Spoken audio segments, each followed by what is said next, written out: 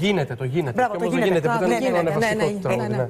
Πιο πένθυμο εμβατήριο με την τρομπέτα, με όλη την μπάντα του Παντελή Παντελίδη, ε, να παίζουν αυτά τα τραγούδια που όλοι ήταν πάνω στα τραπέζια και διασκέδαζαν.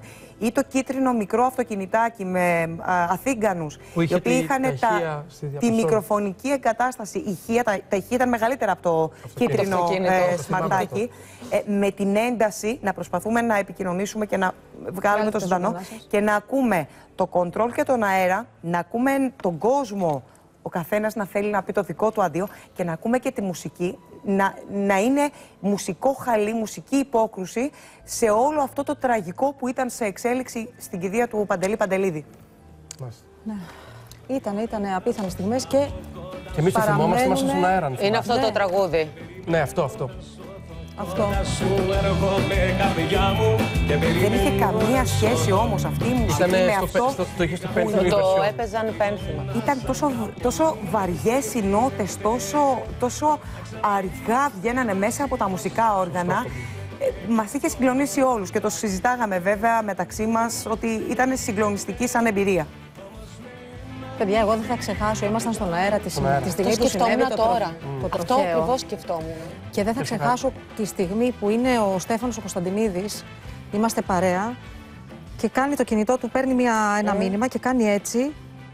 Και κάνει αυτή την κίνηση έντρομος και πετάγεται έξω από το πλατό. Ναι.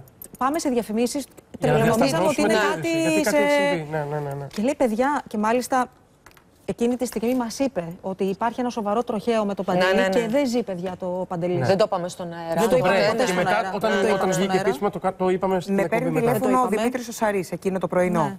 Ναι. Μου λέει μπορείς, είσαι σίγου, μπορείς να μας πεις ότι είναι αυτό; Του λέω. Ναι. Έχει ξαναγίνει κάτι αντίστοιχο. Δεν νομίζω ότι ισχύει. Δεν έχω τέτοια εικόνα. Ναι, γιατί Και έβγαιναν τυχαίνει. διάφορα. Είναι που Και εκεί το τυχαίνει, κυκλοφορούσαν. συνάδελφος, Δεν ήμασταν και ο οποίος- σίγουροι. Λέγαμε τώρα να το πούμε και να. Ναι, προς ήταν Θεού. τόσο τραγικό που Όμως δεν δεν το είναι χωρούσαμε Εκείνη από την το ημέρα μυαλό λοιπόν μας. που εσείς είστε στον αέρα, γιατί εγώ ξέρω και το ρεπορτάζ πίσω από αυτήν την Ναι. ιστορία. Συνάδελφος ο οποίος σήμερα εργάζεται εδώ στο σταθμό, κατεβαίνει, μάλλον ανεβαίνει την Ηλιουπόλεω στο κομμάτι της Βουλιαγμένης και φτάνει στο σημείο και βλέπει το τροχαίο. Του μεταφέρουν, το βλέπει, το καταλαβαίνει ότι είναι ο Παντελής Παντελίδης και είναι ο άνθρωπος ο οποίος λέει «Παιδιά, είμαι μπροστά στο τροχαίο, είναι ο Παντελής Παντελίδης, είναι δεδομένο».